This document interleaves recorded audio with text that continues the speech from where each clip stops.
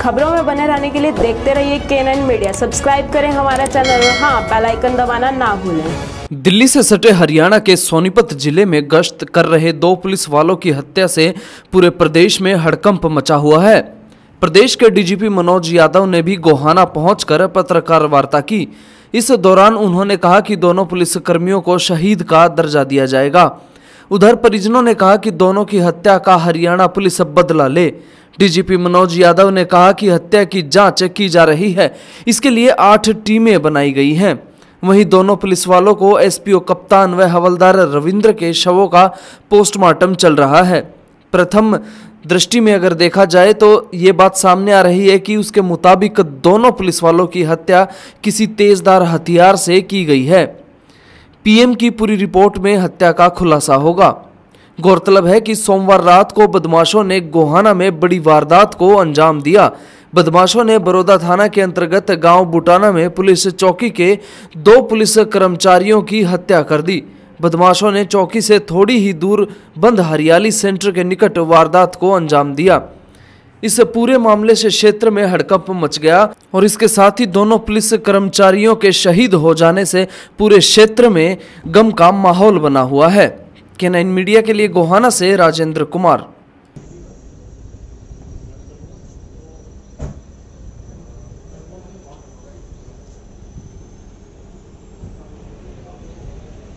सुरक्षा में अपने प्राणों की आहुति दे दी। ये हमारे लिए एक बहुत दुख का विषय है। क्योंकि पुलिस के जवान रात को जब सब लोग सोते हैं उस वक्त वो समाज सुरक्षित रहे और कानून न तोड़ा जाए, इसके लिए वो निकलते हैं अपनी जान को जोखिम में डाल के। और कल कुछ असामाजिक तत्वों ने हमारे दो जवानों की हत्या कर दी, इसके लिए मुझे बहुत दुख हुआ है क्योंकि हमारे पुलिस परिवार के दो बहुत ही जवान और काबिल और निर्भीक शख्स, उन्होंने कल अपने प्राणों की आहुति दे दी।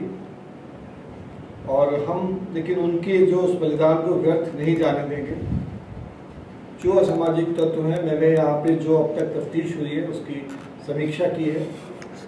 एसपी साहब और एडीजी रोहतक रेंज के साथ में। और हम कई लाइंस पे काम कर रहे हैं।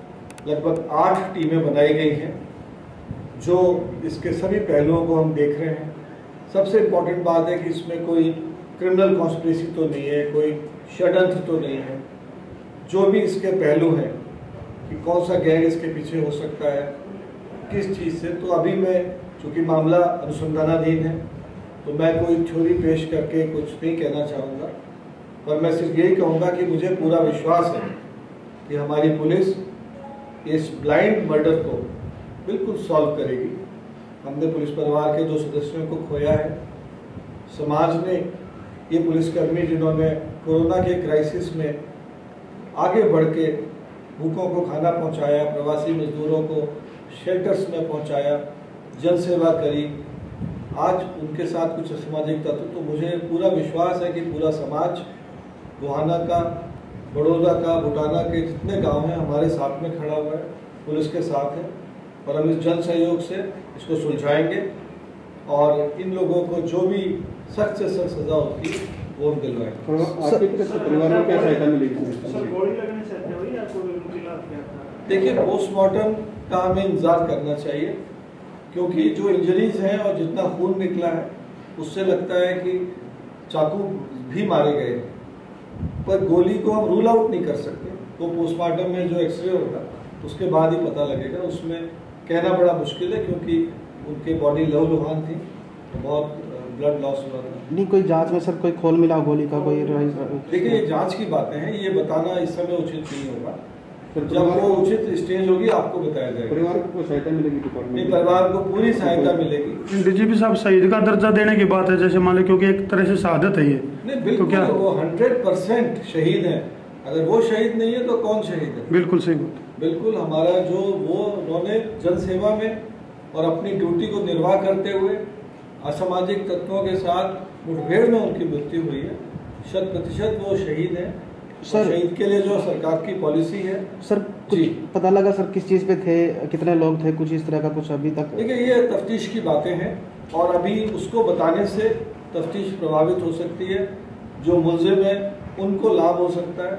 उनको यदि तो हम अभी कुछ नहीं कहना चाहेंगे इस बारे में। ये प्री मैच्योर सर गोहाना मंडल में एक हफ़्ते में सर छह मर्डर हो चुके हैं। अभी तक कोई भी आरोपी गिरफ़्तार नहीं हुआ इस मामले में। देखिए मैं जो गोहाना पुलिस है और जो सोनीपत पुलिस है मुझे उन पे उनकी काबिलियत पे पूरा विश्वास है। बहुत से क्राइम होते हैं हम 24 घंटे में वर्कआउट कर लेते हैं। कुछ में ज़्यादा समय लग जाता है। आप पिछले वर्ष भी बहुत मर्डर्स हुए थे। सारे मर्डर हमने वर्कआउट किए सबके दोषियों को पकड़ा। चाहे वो प्रोफेशनल क्रिमिनल थे चाहे किसी को थाईलैंड से उठा के लाए कहीं से भी लाए। राजू बसोदी को हम लेके आए। कानून की गिरफ्त से कोई नहीं बचेगा। ये बिल्कुल आप रखिए समय लग सकता है और हमें आपके इसीलिए आपके सहयोग की आवश्यकता सर जिस तरह से क्राइम बढ़ा है प्रदेश में उसको लेके क्या कदम पुलिस उठा रही है और कोई अलग से? देखिए क्राइम तो जो है आपको मालूम है कि समाज में जब ये लॉकडाउन था उसमें सब कुछ बंद था सबका निकलना भी खत्म था। तो डेढ़ महीने दो महीने क्राइम में भारी गिरावट आई। अब एक्टिविटीज़ खुली हैं लोग निकल रहे हैं तो किसी की जो दुश्मनी थी वो अपनी दुश्मनी निकाल रहे हैं। तो जितने जो आपने बताए मर्डर्स ज़्यादातर मर्डर कोई प्रोफेशनल क्राइम नहीं है। वो लोगों की आपसी रंजिश और दुश्मनी का नतीजा है। और हम उनको ज़रूर वर्कआउट कर लेंगे। सर ज़रूरत भी हुई क्या? जी। ज़रूरत हुई है सर उनमें जवानों में? डेफिनेटली झड़प हुई है। हमारे मुलाजिमों ने उनसे लोहा लिया है। डेफिनेटली वो अपनी ड्यूटी का निर्वाह करते हुए झड़प है और वो अपनी ड्यूटी पे रात में गश्त होती है हरियाणा में। रात के 11 बजे से सुबह 4 बजे की नाइट पेट्रोलिंग हर थाने, हर चौकी से निकलती है। वो उस गश्त के लिए निकले थे और उस गश्त में उन्होंने इन लोगों को संदिग्ध अवस्था में, अभी कहना बहुत मुश्किल है, प्रतीत होता है कि उन्होंने संदिग्ध अवस्था में देखा होगा उनको। डीजीपी साहब डीजीपी साहब जैसे पुलिस के ऊपर जैसे हमले हो रहे हैं इससे लोगों का पुलिस के ऊपर से तो विश्वास उठ ही रहा है साथ ही खुद भी असुरक्षित महसूस कर रहे हैं। जी नहीं मैं आपसे बिल्कुल सहमत नहीं हूँ। पुलिस से कोई विश्वास नहीं उठ रहा लोगों का। पुलिस का पे लोगों का विश्वास और गहन होगा कि पुलिस रात में निकलती है गश्त पे उनको सुरक्षित रखने के लिए। और मौका आ जाए तो जान देने से भी नहीं। इसमें तो